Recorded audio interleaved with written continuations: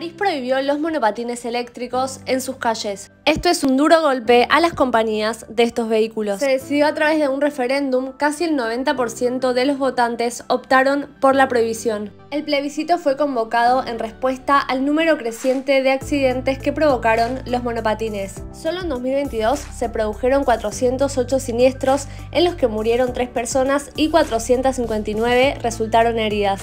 Además preocupaba la manera irresponsable en la que manejaban alcanzando velocidades que superan los 27 km por hora. Muchos de los pasajeros no llevaban casco y estaba permitido que los niños a partir de los 12 años puedan alquilar legalmente estos vehículos. Las tres principales compañías de monopatines hicieron campaña para que los jóvenes voten a su favor. Tras el resultado del referéndum, el ayuntamiento no renovará la licencia de las empresas que operan estos monopatines eléctricos. ¿Qué opinas de esta noticia? Te en los comentarios.